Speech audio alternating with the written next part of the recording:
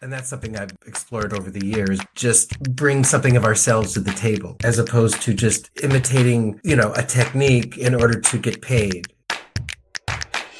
Welcome, all my lovely creative friends. Thank you so much for joining me here on the Sage Arts Podcast. This is Sage, and I am joined today by my much better half, Brett Varon. He's going to co host with me today, which means we're going to discuss things together rather than just a straight up interview. So you can just hear the kind of conversations and back and forth we've had. We did this before, I think it was episode three of the podcast. We are recording this a little bit differently than last time because we had a myriad of technical issues. Yeah.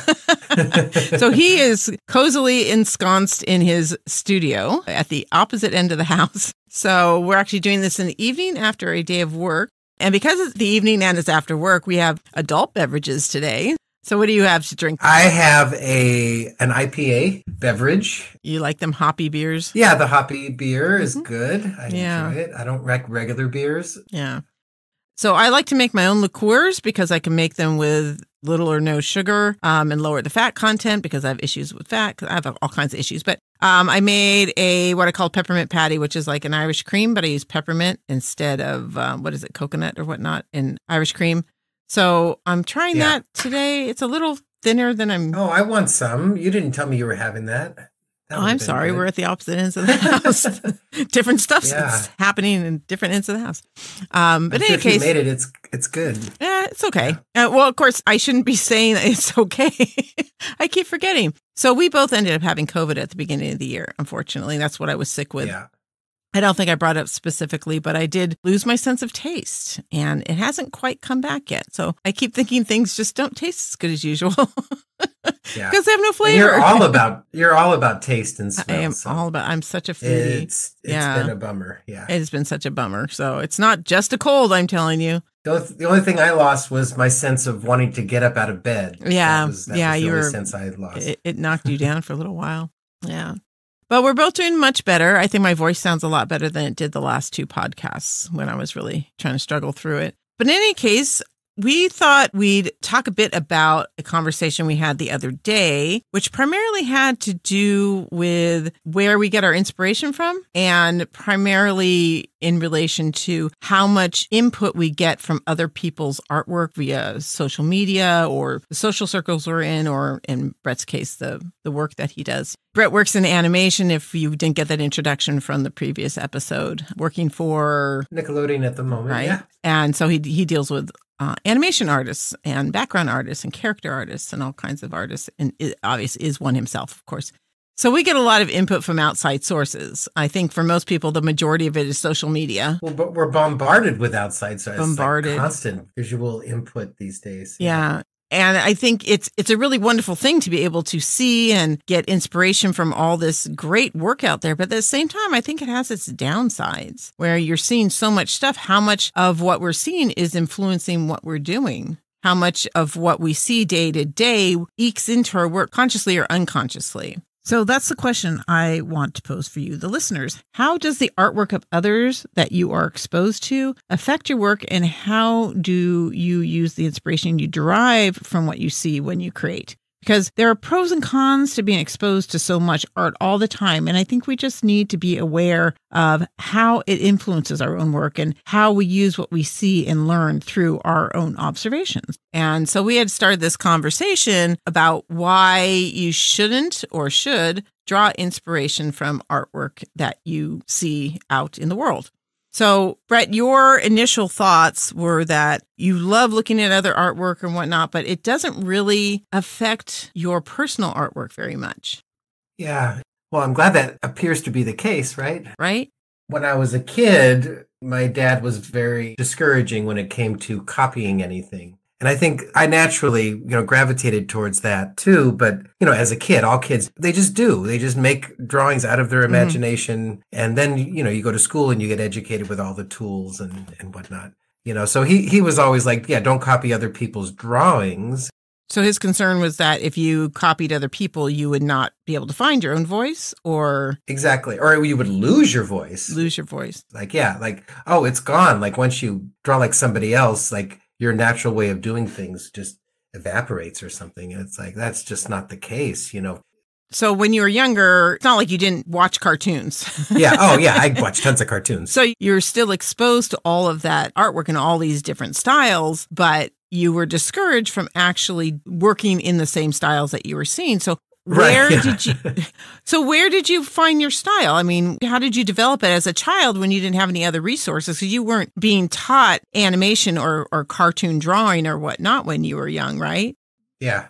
I would constantly just draw things that I wanted to see, but it wasn't about the drawing as much as it was about the idea and what was happening in the drawing. And as long as I could communicate what was happening in the drawing, whether it's a cartoon or whatever I was doing, that was my um, escape hatch. And then when I went to art school, I encountered conflict. But were they asking you to copy? Uh, no, they were not asking me to copy. See, that's what I learned. what they were doing is they were teaching me how to think. And Right. that's a whole different thing because they, they taught me how to study. So I studied the masters. I studied, you know, Raphael and Michelangelo and, uh, you know, you name it, like all the Renaissance stuff. Because in traditional animation, I went to animation school, of course, and you learn to draw dimensionally and you learn composition and you learn color and you, you learn pretty much all of the arts. Every every one of the traditional arts you can imagine is applied in in the art of animation. Yeah. So once I discovered that, I got very interested in creating art, and that's something I've explored over the years. Just bring something of ourselves to the table, Yeah. as opposed to just imitating, you know, a technique in order to get paid. There's a difference. Yeah. For some people, that comes easily, being able to find the thing within themselves that they want to put into the artwork. And for other people, Yeah. it's a bit of a struggle or it's a bit of a, a search, an exploration. Yeah. You know, growing up with uh, with that disposition of not copying anything, I learned to study. So when I studied, I used tools in order uh, in order to make what I expressed uh, clearer or or better. Um, understanding how to direct the eye, understanding the concepts of design, and wh- when you draw something of nature, let's say you're you're drawing a tree or you're painting a tree, there's you let the nature of it sort of come through you because you're part of nature too. But if you use design principles, you're being more analytical and you make a concept of a tree instead of kind of feeling the tree. I mean, there's, I guess there's different ways to approach art. Yeah. But Yeah. So, my concept in teaching design is that you learn the concepts and you don't necessarily consciously think of them throughout the process of creating, but you have to know them in order to assimilate them to the to the extent that you don't have to think about them. So it's Oh. like yeah, it's like a tennis player goes out on the court and yeah, they know how to swing a tennis racket and they know how to do a backhand, but they do it over and over and over again so they don't think about it while they're playing, right? right. It comes like muscle memory. I, I learned to play the piano and well, I taught myself by mu- muscle memory. You know, my fingers know how to play certain things. So you learned to design tools, but you didn't get the tools as much from education. Like I, I did a lot of reading to learn my design concepts. I did a lot of study. And so are you feeling like a lot of your design sense actually came from the doing rather than the studying of art? Oh, interesting. It kind of did. Yeah. Yeah. I studied art my whole life, but when I went to specifically art school, these ideas were, you know, these concepts of design were coming at me. And I, I did learn them in class, in a design class from a, a very kind of philosophical teacher who really reached me. Like a, it made sense to me. And then I embraced it. It wasn't Yeah. technical. It was more emotional and expressive. And that's what got me. You're you're a very philosophical person, so that totally makes sense. Yeah. that someone who could approach it in that direction.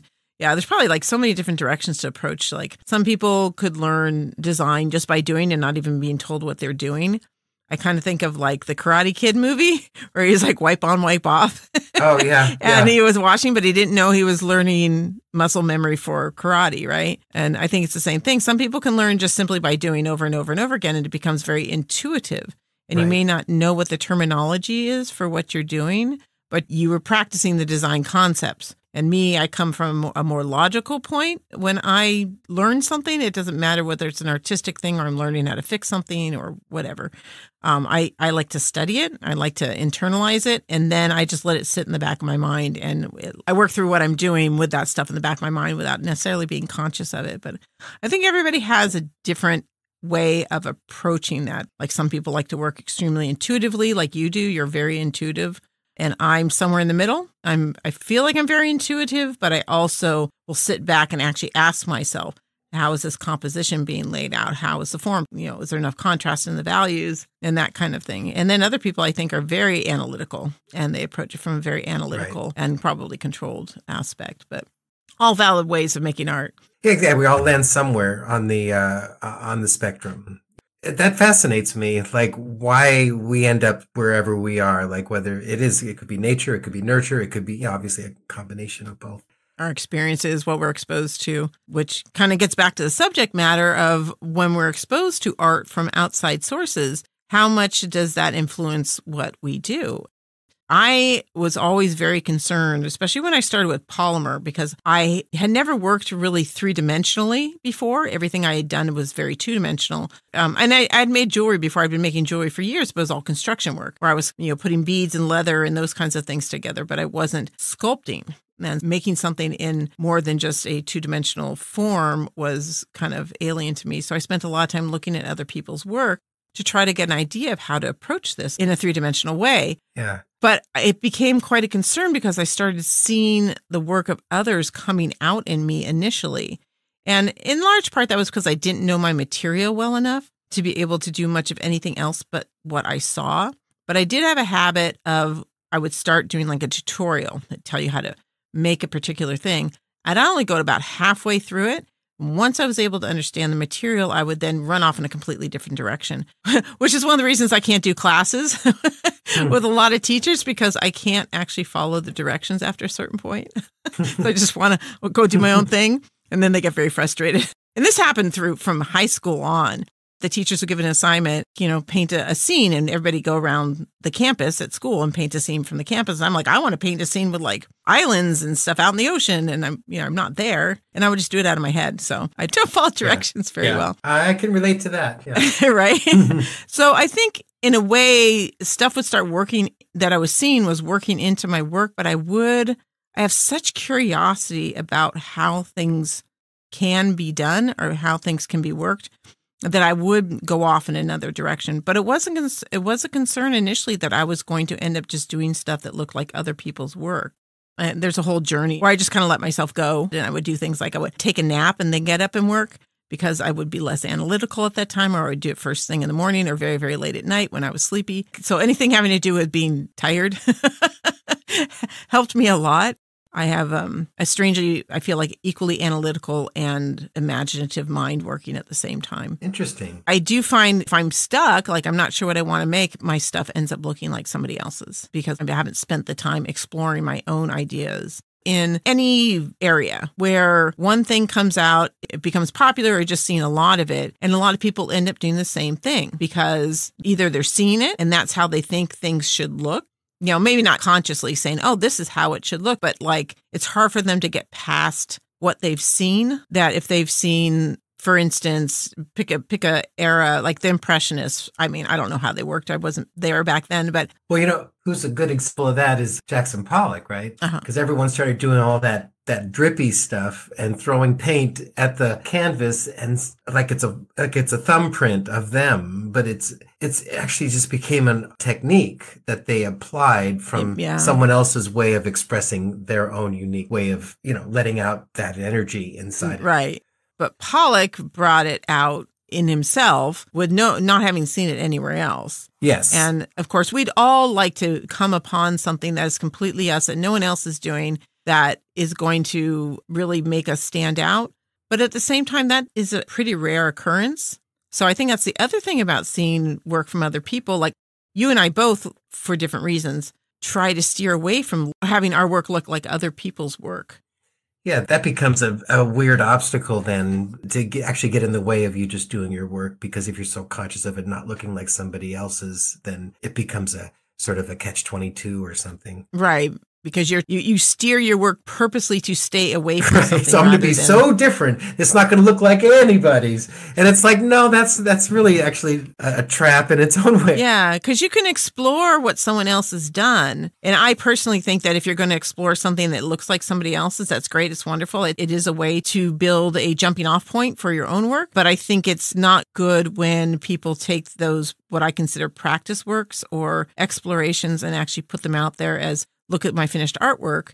I think you're doing yourself a disservice by having your work being put out there before it's a full expression of your own style and your own voice. But I mean, a lot of people do because we are in social media and you have to be out all the time and you feel like you have to be present on social media so people don't forget about you. And so, whatever you're working on, people like to put out there. But I think if you're exploring and looking for your own voice and your own style, you might want to keep them to yourself. That's my personal thought obviously none of us would like our work to be mistaken for somebody else. You know, we all want a voice unique enough to be like, that's Sage Bray's work, that's Brett Varon's work. When you, you see an artist you you know is is unmistakable. There's certain artists you look at it and you know exactly who it is. You know, Picasso. Well, Picasso. There was a lot of uh, a lot of cubists at the time, and sometimes people can mistake a Picasso for someone else. Only because they're looking at cubism. But yeah. honestly, if you know cubism well enough, you can tell if it's Picasso or not. Yeah, that's true.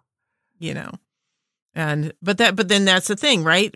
When he started, I don't. I, honestly, I'm not sure that he's the one who started that, but no, he's. It would seem yeah. like it. I, th- I think it was um Braque, right? I was going to say Braque too, but I wasn't sure. Yeah. yeah. But when you're seeing that kind of work and you think, "Oh, I'm not going to explore that," If if Picasso had said, "I'm not going to look like Braque," then we never would have had some of the wonderful work that that Picasso has done. And well, he, he here's the thing: he owned it. You know, mm-hmm. it was his. Yeah. He made it his. It's, he took a concept related to it and interpreted it.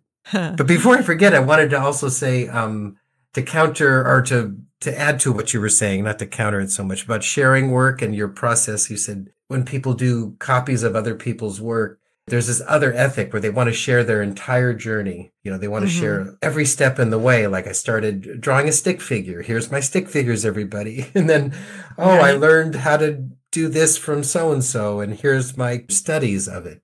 Because understanding yeah. what you're doing is different than just copying a visual. But if you put out something that's part of your journey and you say it's part of your journey, that would be one thing versus saying, I'm making this artwork. Like, I think there is a mental push, and it's probably from our society or whatnot, that you need to be accomplishing something, you need to be finishing something, you know? So you're doing this exploratory work and you go ahead and make finished pieces and maybe even sell them. They're on your shop or whatnot. But these pieces don't represent your voice yet because you haven't gone through the full exploration to try to find the style and approach that really feeds your muse, that really expresses yourself.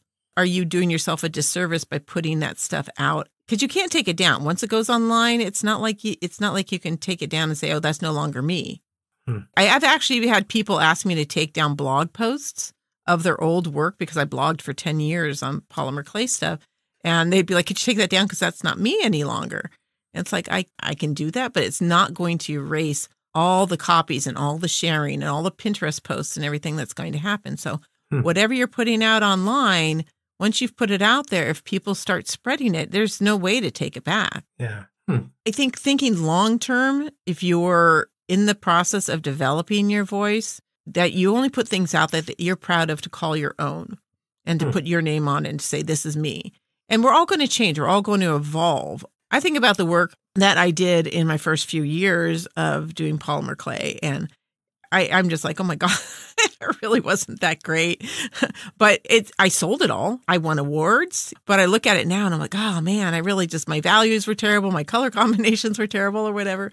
But it was relatively good for that time period and for the, the market that I was selling. Well, there was probably was, something to it with your touch or your, your the flavor you put into yeah, your sensibility. Yeah it came through. That really gives a push for putting your work out there when you've found your voice more than when you've gotten the skills. I think you're right. I think that's why I sold as much as I sold back then, or why I got the awards that I got, was not because my skill level was that great and, and some of my design sense may have been off mark, but it was very sincere. The work was like, I want to explore this. I want something that looks like this. I want to do this kind of thing that has this kind of impression that people will see. Yeah. But the longer I've done it, especially in educating other people about what I do know, I mean, I've been in art school and stuff, but it's the more you teach people, the better you learn what you already know, which is really cool. That I can look back at some of the stuff I've did and go, it could have been so much better. But the fact is, is, is once you start putting things online, you need to be proud of what you're doing at that time. If you're going to put it online and you you need to be like, I am proud of this. I I feel that this is really me. That even years down the road when you look at it and go, God, that wasn't very good because you know how much better you are now or how much better you could have been, that you're still good with it to know that at that time you put yourself out there. You put your style, your voice, your expression, what it is that you wanted to say out into the world. Yeah, I, guess you could say if it's like we'd go back to authenticity or true. Yeah, what is the value judgment we're going to put on it? Well, authenticity, I think, gives you a tremendous boost on the value scale there. I mean, it's, it's like why we love children's art. They don't have a lot of skill, you know, but you can look at something, go, oh my God, this is amazing.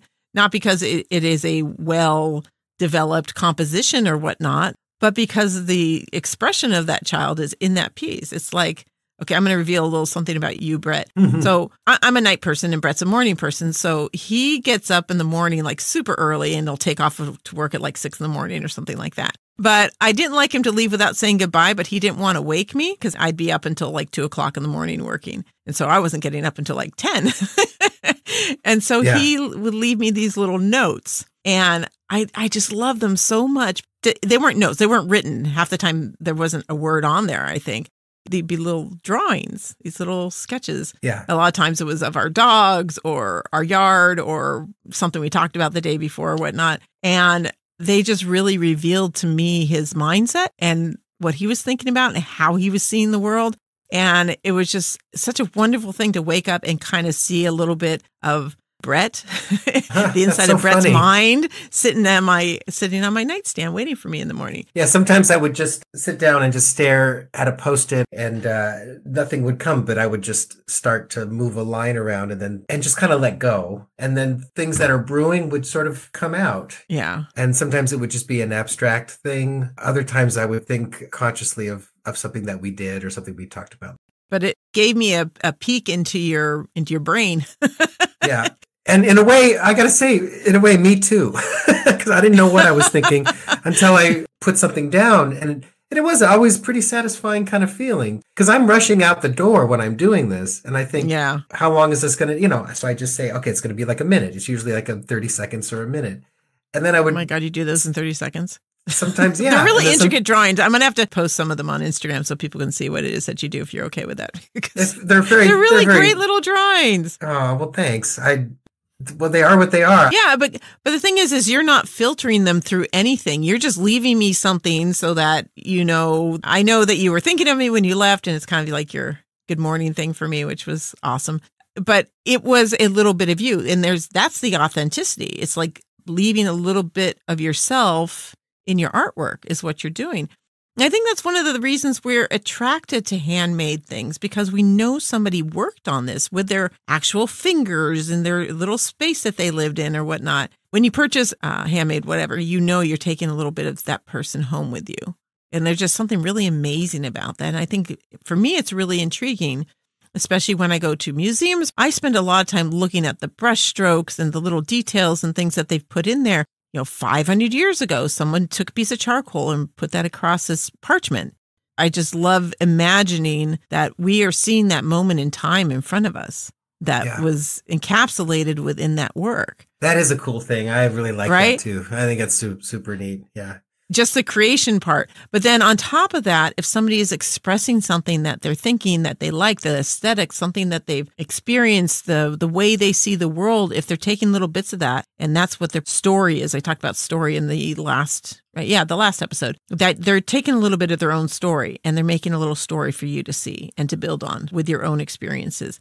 And I just think that's such an amazing connection between the artist and the viewer or experiencer of the artwork that we're sharing ourselves with them. So the more you can do that, I think the more connection you have with the viewer, the, the person experiencing your work. If they can see you, if they can get a little peek into your world, into your mind, into how you see the world, it's just an amazing connection. If they see it and then they can put themselves in there, It's Yeah. like the two of you have something, you're sharing something in a really unique way. So I, like you, have always been against copying for myself. Obviously, there is a age old tradition of artists, apprentices or journeymen or whatnot, copying over and over again, either the master or other people. Art schools will have you copy. I remember being in art school and being asked to copy things. And I kind of cringe, but I would do it because, you know, it's the assignment and I wanted to pass the class. But it's not what I wanted to do. I didn't want to copy somebody. I had all these ideas of my own. So if it's a hard thing for people to come up with their own stuff, I think there needs to be work done on finding what makes you curious enough to chase something other than what you're already seeing. To have something to express, have something that you want to to get out of yourself, you know. And, yeah. And uh, sometimes it's discovering what you want to express, you know. I mean, is it like therapy? I don't know. Well, art is definitely a way of working through things. And it just doesn't have to be like working through trauma or something. It could just be figuring out your view of the world, your thoughts, where you stand on Yeah. issues of the day, or how you feel about the way you brought up your children, or where you are in, in your particular period of life, you know, working through those ideas. I write for that reason. And a lot of, I mean, just think about it. when you do go to therapy, a lot of therapists will recommend you do a journal for the same reason, because it's a way of working through your thoughts in a very literal way and writing things down. You have to put it down in black and white. You have to Yeah. translate it from what's inside of you into something outside of you. And it does force you to really think through things in a way that you don't have to when they're just rattling around in your head. Yeah. And I think artwork does Yeah. the same thing, especially if you're a very visual person, right? There are a number of artists that I think work through their own personal stuff. Artwork, writing, music, whatever it is, is definitely a way to work through the things that you have dealt with in your life or the way you see the world.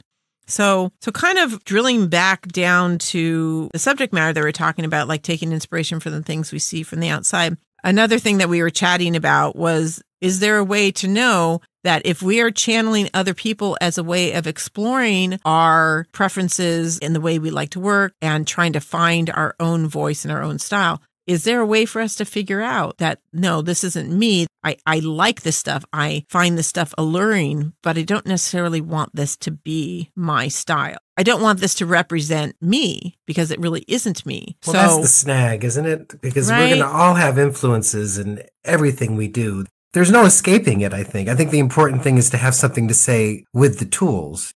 It liberates us. Yeah, my my thought is like I think being able to find your own voice is a lot of times about hearing your internal dialogue. So if you're saying to yourself, I'm going to make this thing and people are going to like it, and that's what your focus is, then you're probably not expressing your own thoughts at that point. Since That your primary sense. concern is that you want people to like this work instead of being like like for me I know it's my own work when all I'm thinking about is like, ooh, I want I want to see how this is going to come out. I want to see if, if this can be this kind of texture that I love. You know, I I want to explore this. I'm so much interested in the process and what I'm seeing develop in front of me without any concern for other people, without concern for whether I'm doing a good job. When I'm not worried about my technique, I'm just trying to see what I can make of it when I- it's like this pleases me this is this is something i like this is something i want to keep chasing It's just that simple, right? It just pleases you. yeah but you can be pleased for a number of reasons right you can be pleased that you're doing something well that your t- Yeah. technique looks good that you're doing something that you recognize as exciting and that it would be something they you can put on social media and that people will give you lots of hearts or thumbs up or whatever too right but you need to be pleased for yourself my kind of test would be like, would I make this if no one else saw it ever? Would I still want to do this? And if I still want to make that, no matter what happened to it, whether anybody else is going to see it again, then I know that's me, because I don't care. Yeah. you know? But I mean, I, I, it's, we have to have a filter, I think, to find our voice. We have to have the kind of filter that will allow us to get past all the influences that push us to make certain things, whether it's to sell, you know, so we can make make a buck or two or just make money back to to keep doing this thing that we do. Um, whether it's social media to get those likes and to be recognized, to feel like you're substantial as an artist, to belong, you know, to feel like To- you yeah. belong. to belong to a group, to show to other people, to justify why you buy all these art materials. Yeah, maybe. Yeah. you know, there's there's all these potential other influences, but when it comes down to it, if you want it to be your style and your voice, it probably really needs to come down to you making it for you and for nobody else. And that you do something because you're like, I would like to see this thing exist. And the thing is, is I think a lot of people create things based on what other people see because it's safe. It's not very risky to make something that you've seen someone else make successfully and get accolades for online. Then you feel like if you make it and you do it successfully, then you're not going to risk failure. Isn't that the truth? I know, but I'm, I'm going to say this probably a hundred times on this podcast. Failure is not just part of the experience; it's a necessity. If you're not failing, I feel like you're not taking the risks that's going to allow you to find that voice and that's going to allow you to find the unique approach to things that you're not only going to have more success with, that people will recognize that uniqueness, but that you're going to feel fulfilled, that you're going to really enjoy that work so much more so because you did risk. But when you you succeed, it's amazing. It's like Yeah. I tell people like this seems totally off topic, but it's not. People like get excited for retirement. I'm like, I never want to retire. You know why? Because I will not have any contrast to what I'm doing every day. If you could go on vacation for the rest of your life and not have to work, that seems like a really cool thing. But the fact is, is if you do that, you don't have the downtimes. You don't have the hard work and the effort and the bad days and all those things that make the vacation so wonderful Contrast. Yeah. contrast. So if you're not failing in your artwork, if you're not trying to do things and not doing them well, when you succeed, it's not going to be that big a deal. That's why there's artists who do wonderful work and then they just completely change gears. They're not challenged anymore. They're not feeling like they you don't get that high from, "Oh my god, look what I just did. Look at this thing I discovered. Look at this new style or aspect or technique or just my approach changed so much so that it's new to me and it's exciting." You lose that excitement if you aren't pushing yourself. And so part of pushing yourself is failing. And you fail in order to have those really wonderful, great feeling successes, like working versus vacation, you know, That's very true. and why I don't want to ever retire because I don't want to ever get to that point where I'm like, oh, I don't have any work to do. I hear you there. Yeah. I feel the same way.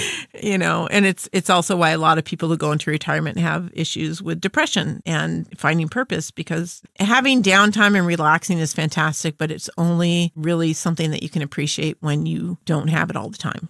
It gets old. Yeah. so as Really it does. and so being an artist who's successful all the time is also not nearly as exciting as having things that don't work out all the time. So that when you do it's so exciting you know? And then yeah, sometimes it blows up in your face and you're just like, "Oh, that didn't work so well." And I it was an expression that felt good as I did it, and then I look back on it it's like, "Well, I'm not too thrilled with what I'm seeing there." but you keep doing it and that's and Yeah. that's to me that's the important part. And i hate to use the word failure when you talk about art but if failing it is what it is. But i think the only true failure in art is not to try not to do it not to do the work or not to try something that you could fail at. Yeah. it's like there are no stupid questions except for the ones that aren't asked. There's no true failure in art except for the art that's not done. But you should at least try. And if you can't do it you can't do it. You set it aside you try something else or you keep working at it. You know, me, I will just keep working at it till I can do it.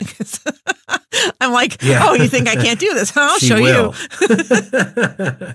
So you do the art, you do the work, and you are in the process learning all the time. And honestly, over the last decade, when I was doing the magazine and stuff, I didn't get to do a lot of my own personal work. And most of the work I did do were complete failures. It was just me messing around. And I didn't care. I just wanted to see if I could do this texture. I wanted to see if I could make this kind of thing work. And once I figured out if I could or couldn't, there was at least an accomplishment that I tried. And I got in there and I mucked around and I was being creative and I was just losing myself in the material and not thinking about anything else. And that to me was success. kind of what you're saying is do. You just do a lot. Just keep doing every day. as long as it's giving you some fulfillment, some joy, Right. you know, if you get in there and you enjoy the time in there, even if you don't end up with anything you get to put on social media or you get to sell or whatnot, unless, of course, this is how you're making a living, then, of course, you want to make some stuff you can sell. But if you have that luxury of just getting in there and just messing around, then you should.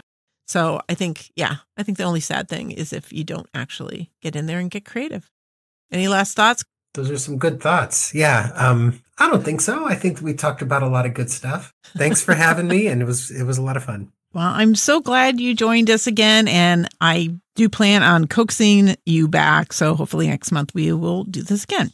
In the meantime, I have a couple of notes. I did stop in the middle of our conversation to look up the Picasso question. And as it turns out, it wasn't Pablo Picasso or Georges Braque. It was both of them. They collaborated on Cubism. Technically, Picasso did the first somewhat Cubist painting, but when Georges Braque saw it, he was just inspired and the two of them started collaborating working on it and from that collaboration came what we know as cubism so got that straightened out we also started talking a little bit about writing things down again, which we talked about in the last episode, which was the one where I presented the challenge, which is to try to find a story every day and use that for inspiration for your work. And one of the suggestions was to write down those stories that you find every day. So I'm really curious if you've done that. So if you want to drop me a note, uh, pop in on social media, send me a message there.